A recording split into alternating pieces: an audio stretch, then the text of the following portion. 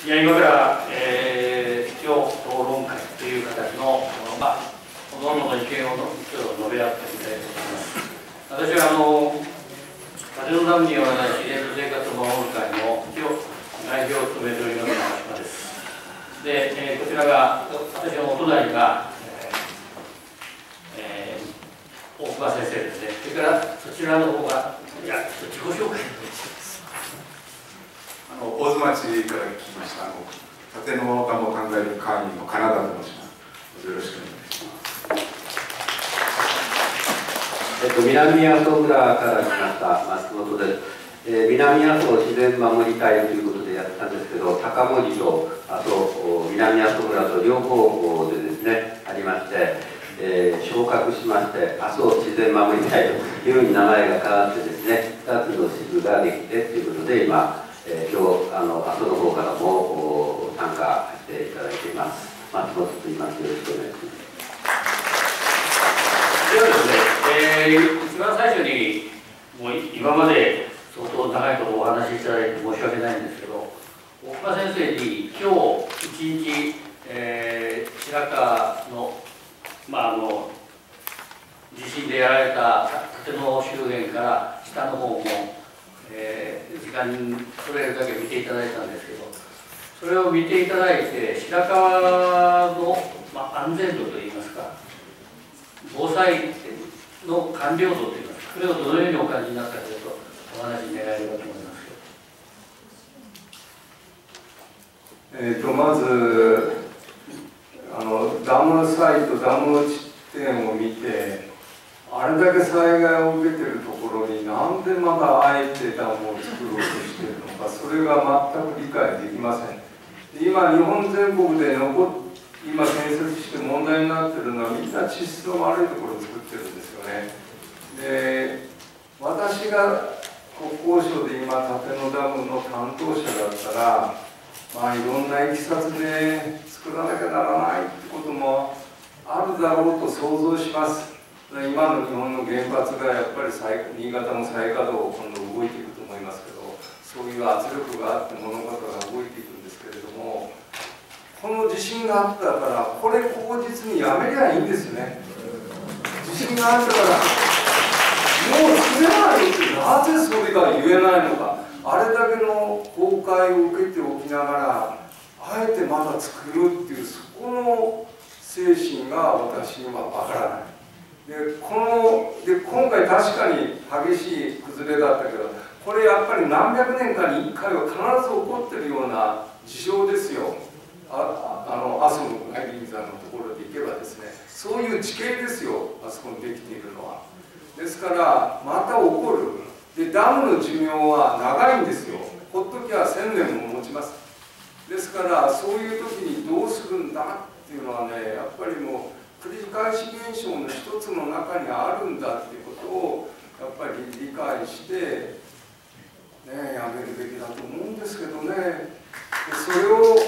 指導するいろんなしがらみで動けない。それをやっぱり解きほぐすのは政治家だと思います。政治家がいるのであえて言いますけどもやっぱり政治家の力が必要なのかと思いました。それから下流側を見せていただきました。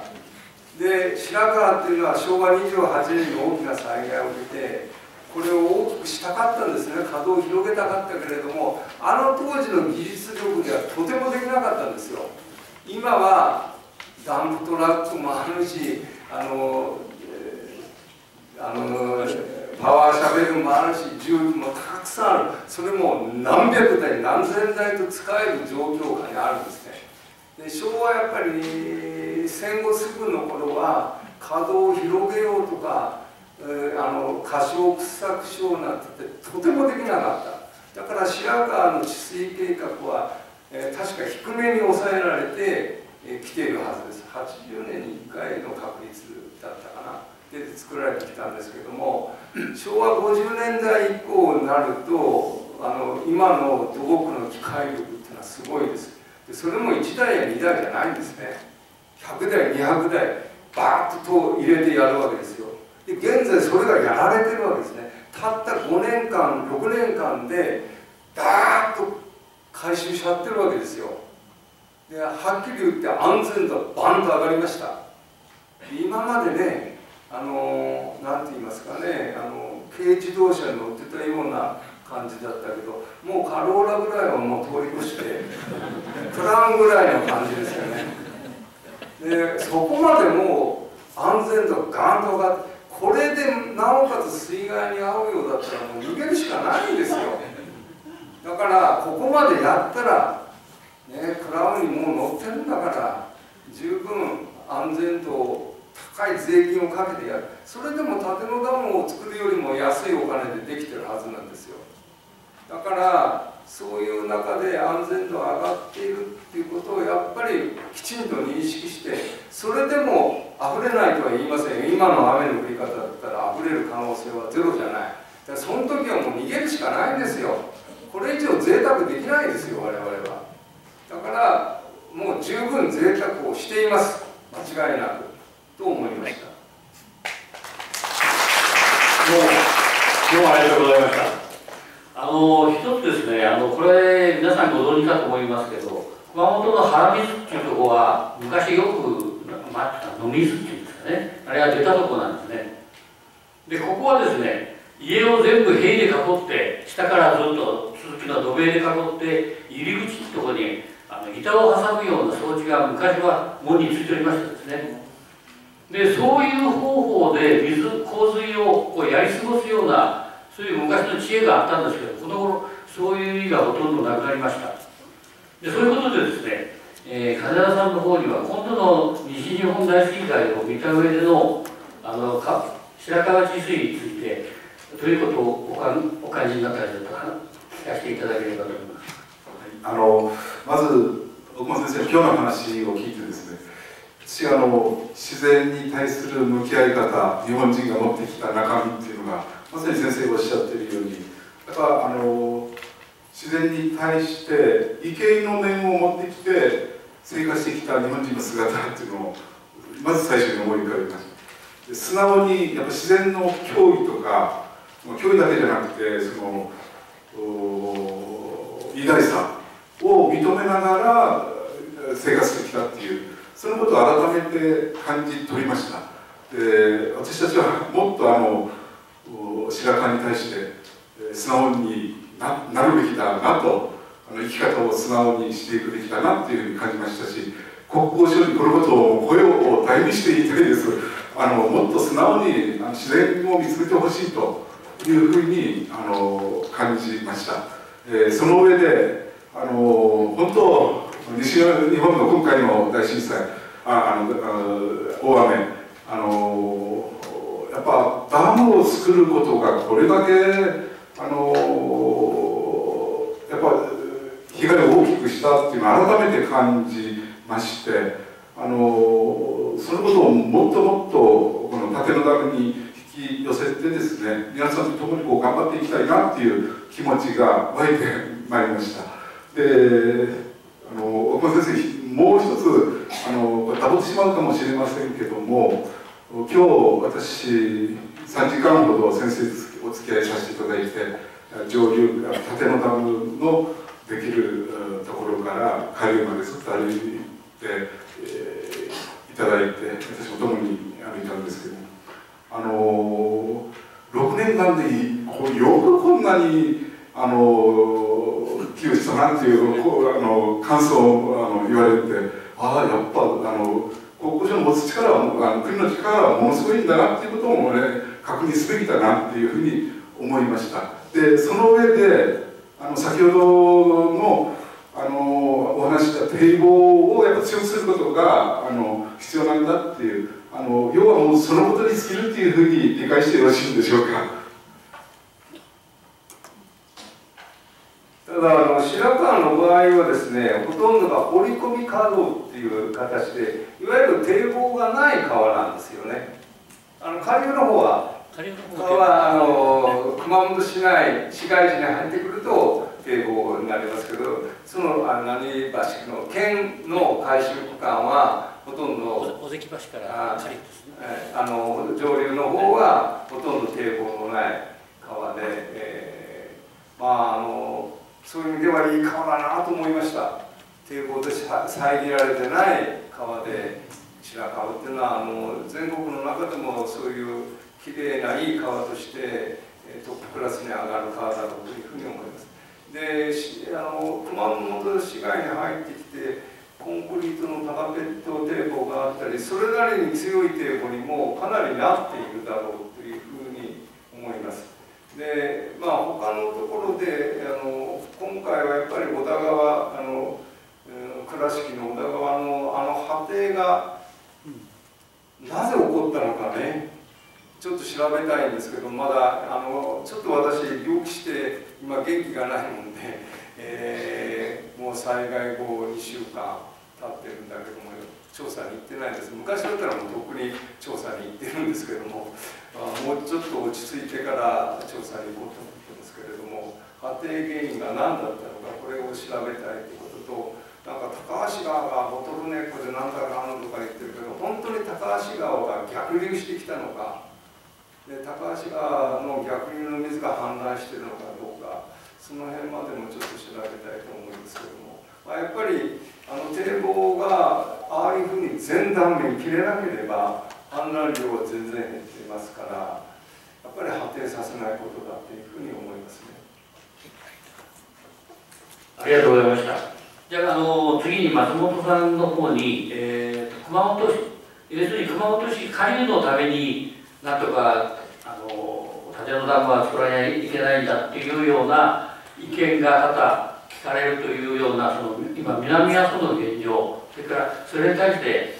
このダムに対してあの松本さん自身のお考えをちょっと述べていただきます。はい、ありがとうございます。あのえー、南阿蘇村に住んでてですね南阿蘇村が今、まあ、村長を含めて、えー、国交省と一緒にダム建設を、まあ、進める立場で動いてるんですねでこの間、えー、要要望を挙げて2回現地見学会と説明会をしてもらいました。でまあ説明会に応じてくれたという点でいけばですねあの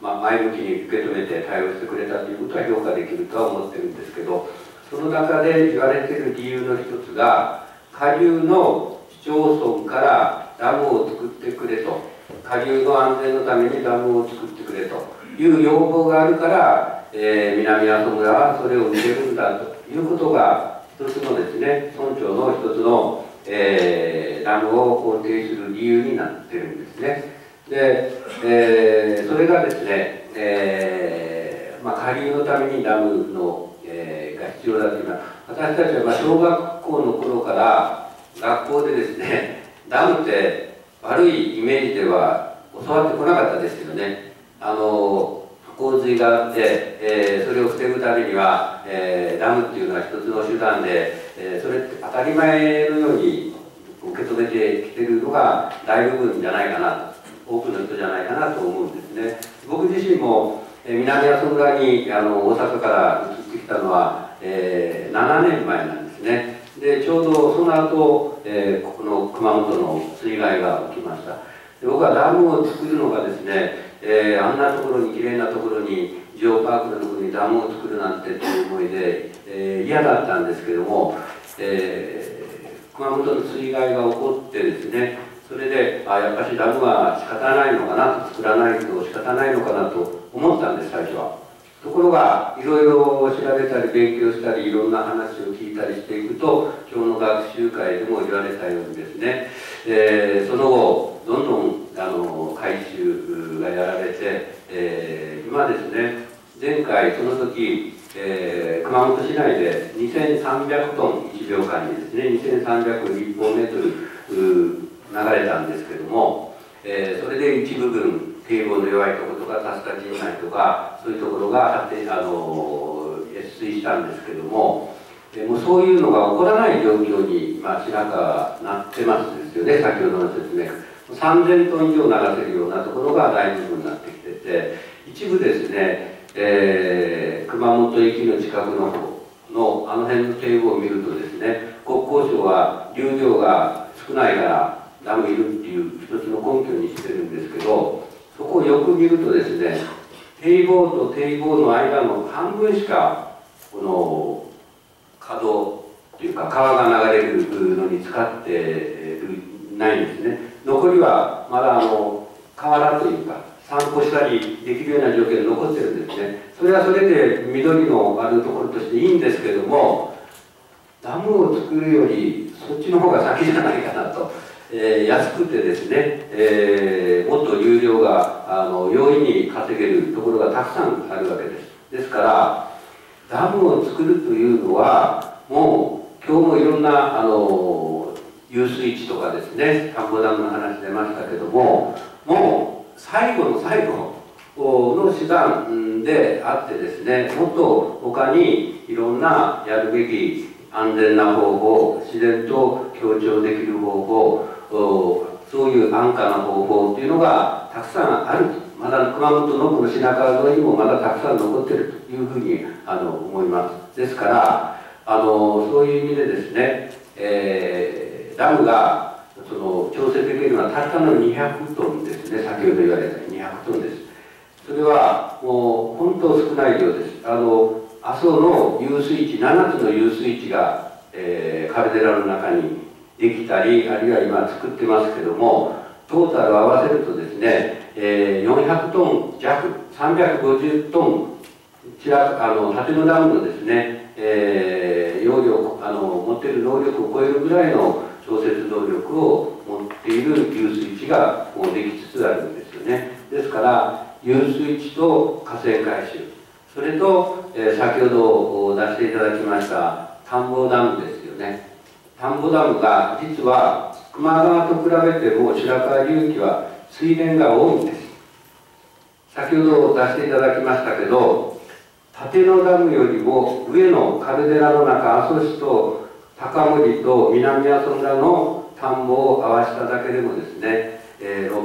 あ6500ヘクタール以上あるんですね。でそのうちの8割があのすでにですね基盤整備っていうのが済んでて、えー、あぜが強くされたり排水が良くされたりすでにしてるんですね。ですから先ほど奥間先生が出していただいた、えー、1ヘクタールあたりに2万から4万ぐらいのお金がかかるって言われてたので計算してもですね高く見積もっても4億から5億円しかかからない。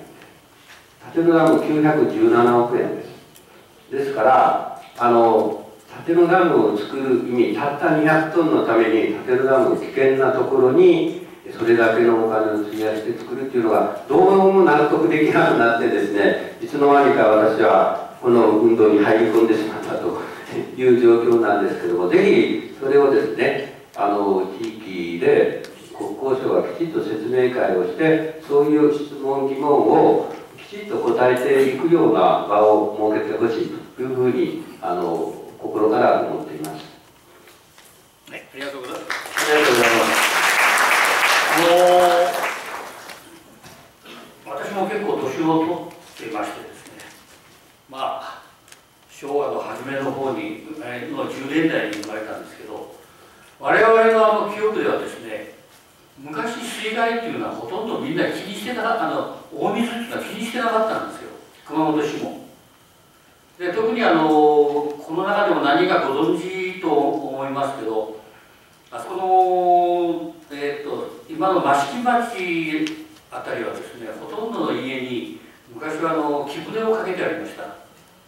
で木舟がかけてあるとですね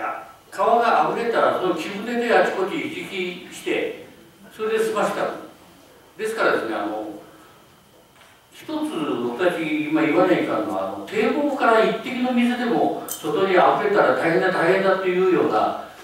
この辺の感覚からちょっと変えていかなきゃいけないんじゃないのかなという気が今日奥間先生の話聞きながら思ったんですけどその辺あの大変さっきおっしゃいましたね。あのなんかあの災害のないところに人間は住めないと。それであればですねやっぱり人間が災害になれにはいかんじゃないですか。まあちょっとその辺ももうちょっとかっこよく話してくださいあのやっぱり明治以降近代的な科学技術を手に入れて我々は自然を支配できるというふうに考えてしまったん、えー、自然支配の方法できて、もう私より若い人間はもう全部その考えで凝り固まっているからあダム作ってもなんとも思わない。やはり自然に対してやっぱり謙虚な気持ちっていうかそれは必要だろうと思います。であのここでは分かりにくいのかもしれませんけど新潟に私行って最初に感じたのは鮭がこういうでかい鮭がボンボン登ってくるわけですよ。海からですね。でまた海に戻っていってで松本っていうのは信濃川の河口から290キロあるんですよ。長野の。でなその松本で5万匹鮭が取れたっていうんですね。でその食べた鮭を将軍に献上した。290キロ登った鮭が美味しいかどうか。美味しいんですよ。あのねあのやっぱり卵を産むまでね頑張るんですよね。だからちゃんと体がしっかりしてるんですよ。で卵を産んじゃうとボロボロになるんですけどね。でその鮭でなくて鮎もいたりうなぎもいたりそれで日本人は日本人は川の魚を使って文化を築いてきてるんですよね。縄文人もいっぱい鮭を食べています。でそういう川は本当に海と山とこうつないでいる大事な存在なんですね。でそこにボキッとこうね遮断するものを作る時はよほど必要性がない限り作るべきではない。で少々やっぱり自然に少々っていうか傲慢に対応してるから命をなくしてしまうんですよ。だからいざとなったら災害に遭うということを考えながらできるだけいいを災害に遭わないように作るっていうことともしあったら逃げることどうするのか。でやっぱり山側の家の窓は小さくするとか山側の山と家の間には欅のような木を植えるとかですね。で寝るところはこっち側に寝るとかね。もういろいろ手はそれぞれあるんですけれどもやっぱりその自然に対して謙虚になって考えておくってことが必要だろうと思います。であのなんか私は今日最初に理性的に感情によらず理性的に考えようって言ってながら私が一番感情的に 喋ってたかなと思って今反省してますけども私が書いたものもよく読んでいただいてちょっと冷静に皆さん考えていただけたらなと思います。ありがとうございます。であのここで一つですねあの今度の西日本災害の件で非常にあのこう典型的なあれあの人災だという気がするんです。というのはあの川を今度のあの災害の状況を見ると一つは非常に土砂が多いということですね。そうそうですもう一つそれ以上に流木がその土砂の中に混じってる。これは一体何を意味してるのかっていうとそれを流し出してきた山がすごく今脆くなってるんじゃないかと思うんですよ。でそういうことからですねそれぞれあのお三方の今度のあの西日本災害のあの印象を語っていただきたいんですけどこれ逆に松本さんの方からお願いしたいと思います。えっと、あの去年その南阿蘇自然守り隊で、えー、朝倉市をですね一日みんなで、えー、向こうの方に案内してもらって、えー、まあ研修ということで行ったんですね。で結局小さな川があのあそこではあの氾濫してしまってたんですね。小さな川が、えー、流木で詰まって横に水があってあるいは、えー、直接裏山から、えー、土砂が崩れてくるということが起こってました。で、えー、あそこはですね、えー、土がマサゴっていうあの、えー、花崗岩が細かく砂になったような割とサラサラしたところ。でしかも杉の木がたくさん植えてあってですねあの植林された杉の木っていうのは後で、えー、南阿蘇村の三浦さんに教えていただいたんですけど、えー、根がですね縦に主根っていうのがこう張らなくて横にですね50センチから1メートルぐらいの横に根が張っていってしまうということで、えー、もう斜面に植えたらいけない。家の裏に植えたらいけないということをですねおっしゃってました。ですからまあ、そういうところがですね大雨で大きな被害を受けたっていうのがこの前の状況でしたけど今回も、えー、あちこちのその山の上の方でですねそういうことが起きてで一気にそれが下に流れてきたと同時にですねもう一つ感じたのはダムで常時土を上流の土をせき止めてますからダムから緊急放流する時にはあれだけの重量でかき回してダムの中のダム湖の土をかき回してですね一斉に放流しますから水だけでなくってダムに常日頃溜まってた土砂までいっぺんに下に流してしまうということでですね非常に大きな被害が起きるということを感じたんですね。それが一つともう一つはですねあの先ほどグラフを出されましたけど入った分だけ雨が降ってダムに入ってきた分だけを流すというんでなくってダムに溜めてるもんですから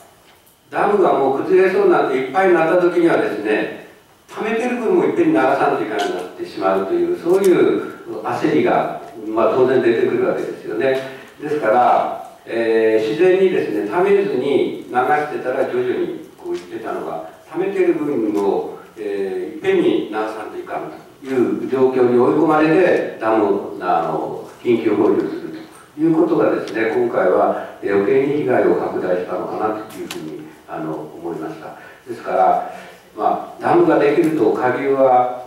安心感がやっぱ出てしまうのもこれも一つはまずいのかなと。あのやはり基本は、えー、自分たちのところの周りが本当に安全かどうかをですね、えー、やっぱり河川の整備やいろんな方法を含めてやることがいいのかなとダムができたから安心ということは全然なくて逆に下で手を抜いてしまうということが起こるんじゃないかなと思いました。はい、あの私、まあ、桜とかですねあの一緒に行ったりとかしたんですがあのことごとくあの戦後造林したところの針葉樹人工林ですね杉そういうのが結構あの崩れているっていう状況を目の当たりにして今あの木の値段が安くて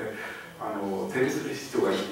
少ないっていうそうそういうのも一因だというふうに思いました。ところがあの今日改めてその白川の北向山谷あのをちょっと見たらあのもちろん針葉樹下流その北向谷のあの下流の針葉樹人工林のところはものすごく崩れています。ただあの広葉樹のあの自然林のあの広葉樹のところも結構崩れてるんですね。だから災害っていうのはその途方もないこう力があって持ってあの崩すんだなっていうふうに改めて思ったんですけど、ね、それでそれにしてもあの私はあの父が山が好きでちょっと人工林もあの持ってたんですけども毎週あの、まあ、公務員やってたんですけども毎週土日に弁当を持ってあの山の手入れに行ってたんですよ。でそしてあの下草刈りをしたりあの間伐をしてで間伐したらあの下に草が生えないともうな雨が降ったら流れてしまうんですねあの草が結構生えてないと流れていくっていうでそれも含めて自分の山を手入れすると同時に災害も防いでいくっていうようなそんなことも心がけていかんだろうなと思ってますけども今相続で決意で1丁2単ぐらいあの山をあの持ってるんですがあのぼつぼつあの手入れをしていこうかなってあの思っているところです。あのうん本当はあの一つ一つの視点をこうみんなが大事にしていくっていうことが大事だろうと思います。大津町ではですね企業さんとかあの漁協の人もあの紅葉樹の森っていうのをあの作ってあの植林にしたりされているんですね。で自然のダムっていうことであの針葉樹じゃなくてもう紅葉樹を植えていくっていうようなあの保水力を保つような葉っぱがあの落ちていくようで保水力を保っていくっていうようなそういう運動もぼちぼちここ十何年代やられていますのでそんなことも心がけながらやっていく必要があるんじゃないかなって思っています。はい、ありがとうございます。ありがとうございました。じゃあ、あの今度の、えー、西日本水害について先生の方からもお願いします。いっぱいいっぱいいろいろあるあれすぎるんですけども、やっぱり今回そのダムっていうのはあのやっぱり計画通りの雨が来たら調節できるけどそれを超える雨が来たらお手上げだっていうのが明らかになったと思います。だけどもそれでお手上げじゃいかんのですよ我々土木や土木の技術屋は。そういうのが来てもなんとか対応できるようなダム操作を考えとかなきゃいけないんですよ。それを今回はお手上げだっつってえー、放流してしまったっていうところに問題が。あの人間の命とダムとどっちが大切かっつってダムの方が大切だったっていうのが今回の結論なのかな。で多分ですねあの上から放放流してもあのほっといてあれしてもあの持ったんじゃないかってそれだけ丈夫に僕はダムは作ってあると思うんですよ。だからあの緊急放流なんてしないでそれで任せてもよかったのかなっていう気もするんですけど、ね、その辺よく分かりません。ただ今までその想定外だからあの責任がないという言い方はやはり高い税金を使って川の安全を高めてきて人の命を救うということを仕事にしている我々としてはそんなこと言っちゃいけないと僕は思いますね。やっぱり責任取るべきだと思います、えー、私も全く同意見であの企画あの今想定外だっていうことがこれは逃げのために作った言葉だと思うんです。ですから本当は責任がある役人は使っちゃいけない言葉だと思うんですけど私自身はですねあの治水と治産っていうのは表裏一体でなくちゃいけないと思うんです。で今のところ治水の方の論争はいろいろされますけど治産の論争がほとんどないんですね。で山がほったらかしです。でこの中に随分山に行かれる方がいらっしゃいますからお分かりだと思いますけど今日本の山はですねこれは南アルプスとか八ヶ岳とかあっちも同じです。九州の山も最もひどいんですけど山の奥に行けば行くほど山が乾いてるんですよ。でかつてはもう谷全部あったあのわさび谷なんかがもう全くなくなってます。ということは山がどんどんどんどん今乾いてだからあの昔ですねあの山の人たちはこんなことを言ってたんですよ。うちの川は土屋が雨降っても白濁りやするかっていうのは赤濁りやせんもんだって。これが山のなんか自慢だったらしいんですよ。ですからそういう山じゃ今なくなってるのは確かです。それが今度の西日本水害にも出てきたような気がします、えー、ここでですね、えー、今ちょっとあのリクエストがありましたから、えー、数少ない方だけになってしまうかもしれません。あの会場からご質問があればお受けしたいと思いますが。はいどうぞ。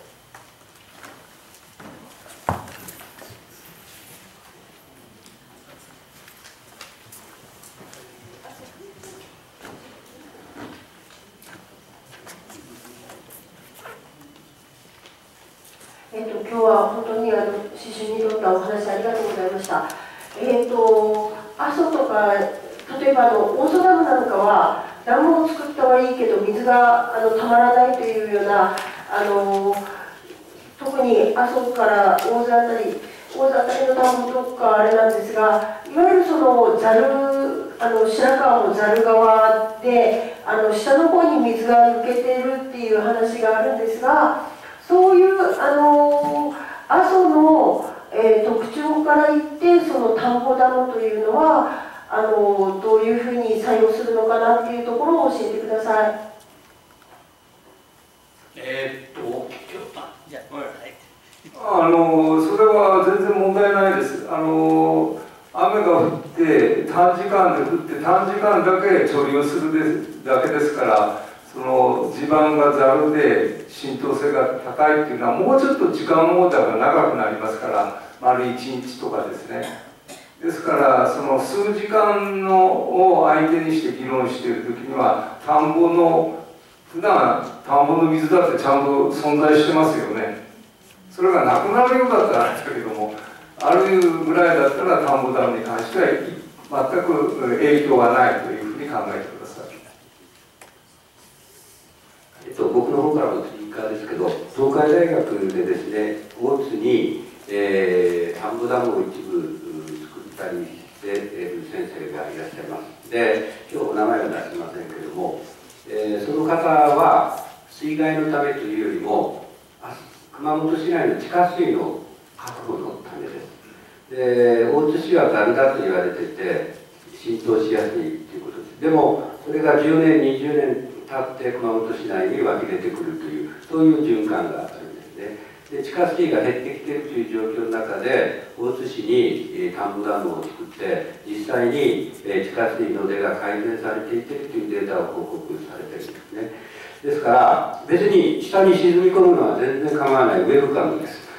あの田んぼダムについていけばですね沈んでくれた方がいいぐらい。ですでそれが先ほどあの奥間先生もおっしゃったですねえー、自然の中でのこの循環に大きな役割を果たすという側面も大津の場合はですね大津に作るとそういう効果もあるということだと思います、はい、どうも。あのすみません。もっとお話を皆さんから伺いたいところですけどちょっともう時間が来たそうですから。ただ一つですね今日私一番こうあのなんかビシッときたのは治水濃度は堤防であるっていう先ほどの先生のお話ですね。これがやはりやはり人間が川と折り合いをつけながらどっかでその住んでいくためには絶対考えなきゃいけないことじゃなかったかなという気がしました。ですからやはり壊れない堤防そうすると少しぐらい溢れてもそのぐらいは大体許容するぐらいの人間のおおらかさっていうのが今後必要じゃないかなということを今日の結論にしてこの会を終わりたいと思います。どうもありがとうございました。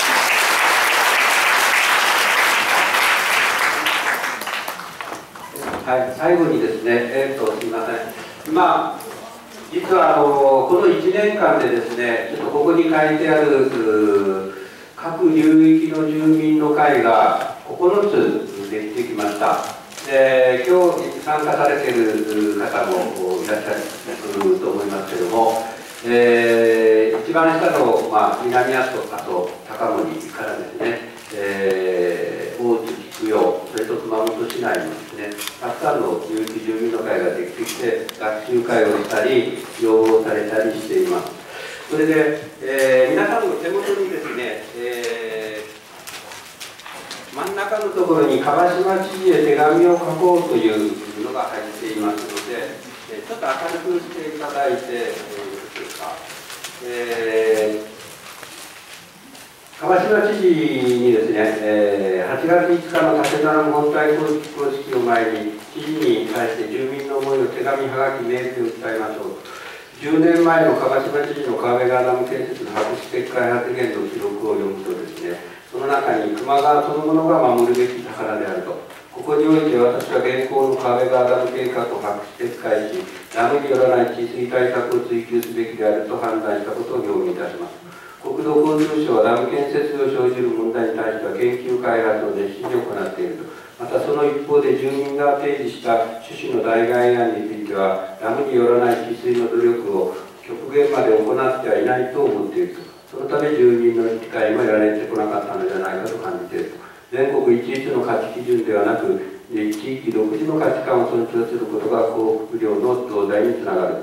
というふうに述べておられますで、えー、現在の白川においてもねあの全くこの通りであるというふうに思います。でそこの下にいろいろ書いてありますけどもぜひですね皆さんの短い文章でも構いませんしはがきでも構いません。あの要は8月5日までに200通を超えるですね手紙やはがきを知事宛に出してほしい